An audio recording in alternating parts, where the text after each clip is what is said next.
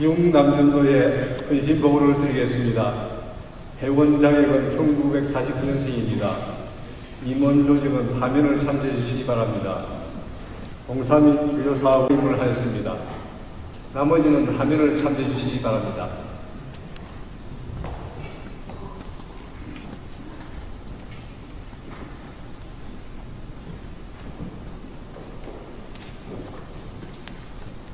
칠남전도 이신도고 드리겠습니다.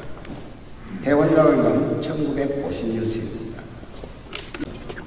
저 사람이 쏠로 솔로로 할 건데 김영우 집사가 솔로. 공사 및 주요 사업은 대리만부터 301도에서 308도까지 전도를 하였습니다.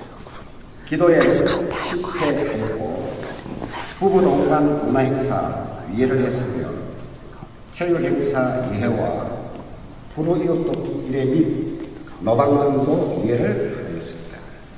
파괴수준을 할 예정이며 나머지는 감회를 창조해 주시기 바랍니다. 건물은 교육자 사무실 의자를 드렸습니다.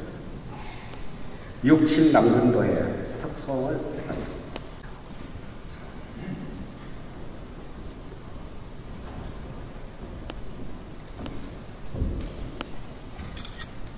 准备。